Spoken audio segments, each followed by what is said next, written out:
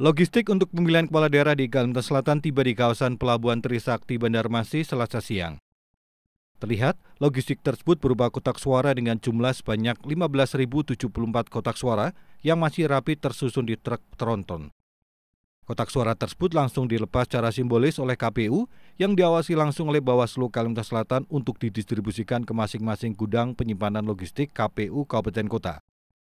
Usai didistribusikan, pihak KPU dan Bawaslu Kalsel meminta agar para petugas KPU masing-masing kabupaten kota untuk bisa melakukan pengecekan kondisi dan jumlah kotak suara. Oke, uh, jadi hari ini kami KPU Provinsi Kalimantan Selatan telah melepas logistik untuk Pilkada 2024 eh, ke KPU Kabupaten Kota yang mana ini adalah logistik untuk uh, jenis kotak suara yang nanti ini akan disimpan di gudang di KPU Kabupaten Kota dan ini sesuai dengan apa yang kami pesan kepada penyedia dan nanti terkait jumlah kualitas dan kuantitasnya nanti akan dicek oleh kawan-kawan di KPU Kabupaten Kota sesuai dengan kebutuhannya masing-masing. Rencananya untuk yang ini ada berapa kabupaten kota mungkin Pak? Uh, untuk yang logistik kotak suara yang hari ini distribusikan ini terdiri dari ada empat uh, mobil truk besar lah. Ini akan menuju ke 13 kabupaten kota yang ada di Kalimantan Selatan. Jadi semua jumlah uh, kotak suara, kebutuhan kotak suara untuk 13 kabupaten kota mudah-mudahan sudah uh, terpenuhi dengan kita mendistribusikan dan menerima logistik kotak suara pada hari ini. Ya, kita uh, menerima informasi bahwa uh, logistik pemilihan tahun 2024 berupa kotak suara itu sudah tiba di Kalsel pada Jumat yang lalu ya. Kemudian uh, hari Minggu uh, truk berikutnya datang lagi dan hari ini baru dilepas ke kabupaten kota.